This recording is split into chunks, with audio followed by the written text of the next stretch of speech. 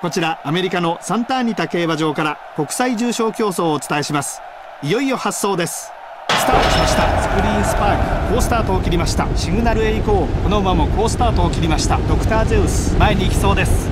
スクリーンスパークそれに続いています。さらにはシグナルへ行こう。3番ストレートコース。その後ろジェネラルミーティング。後方からでは前の方から見てみましょう。先手を取ったのはシグナルへ行こう。その外にスクリーンスパーク。ピンクの帽子ビクトリーチケット。その後ろ内からはプレザントタップ。並んで12番オリンピオ内からはジョリーズヘイロー。この辺りで12コーナーの中間点を通過。では前の方からスクリーンスパーク。先手を取りました。リンドシップ。それに続きます。赤の帽子シグナルへ行こう。その後ろすぐ後ろにドクターゼウス並んで9番プレザントタップ 1000m を通過しました。少々ハイペースというところですが先行馬への影響はどうでしょう。先頭から最高峰までおよそ8馬身各馬一塊です。では前の方から見てみましょう。先手を取ったのはシグナルへ行こう。前はシグナルへ行こう。スクリーンスパークほとんど差がありません。ドクターゼウス3番手ミスター東神この位置から届くのかどうか。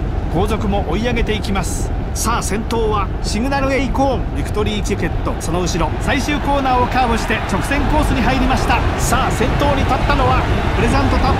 あと 200m プレザントタップ。伸びてきた。残り 100m プレザントタップ。先頭ミスター東神ミスター東神大ひと伸び。ミスター東神ミスター東神1着。2着にはどうやらプレザントタップ。世界の強豪相手に見事な勝利を収めました。ミスター東神まさしく日本が世界に誇れる馬です。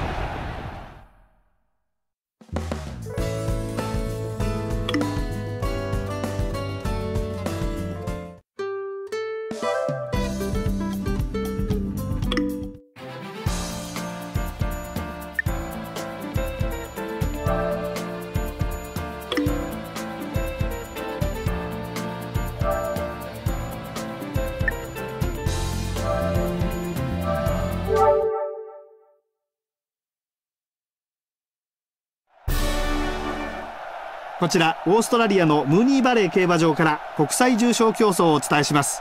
いよいよ発送です。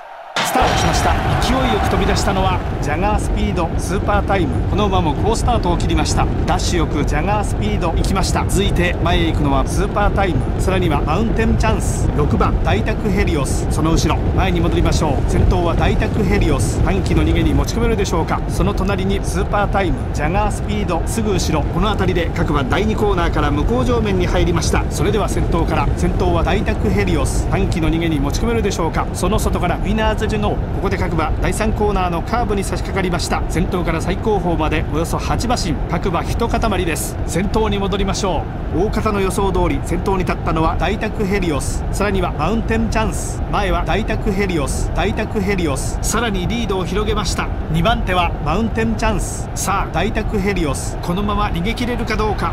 後続も追い上げていきます。さあ先頭は大宅ヘリオス。最終コーナーをカーブして直線コースに入りました。大宅ヘリオス。先頭後続は大きく離れた。2番手はウィナーズジュノー。大宅ヘリオス。独走大宅ヘリオス。ぶっちぎりです。大宅ヘリオス。1着2着はウィナーズジュノー。世界の強豪を相手に見事な勝利を収めました。大宅ヘリオス。まさしく日本が世界に誇れる馬です。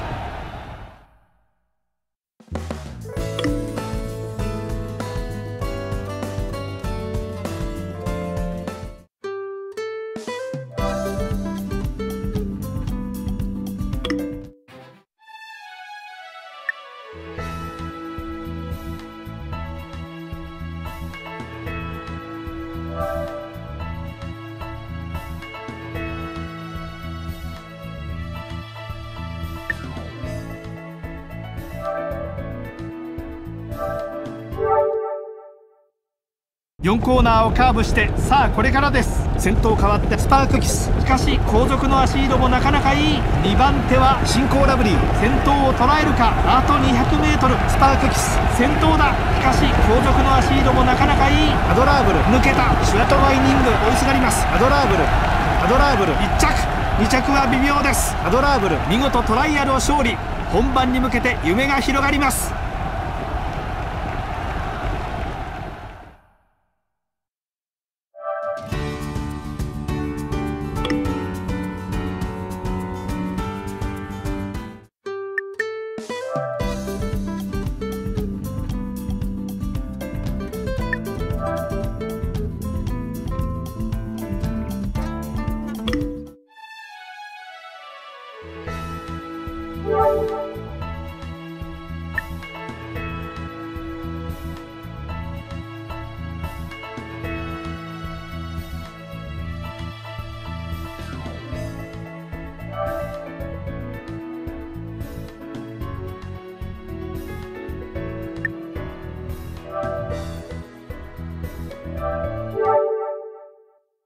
4コーナーをカーブしてさあこれからです。先頭変わってミホノブルボン。残り 200m これは完全にちぎれた。残り 100m これは強い。2番手は桜世界王。ミホノブルボン。独走。ミホノブルボン。ぶっちぎりです。ミホノブルボン。1着。2着は桜世界王。これが G1 馬だ。ミホノブルボン。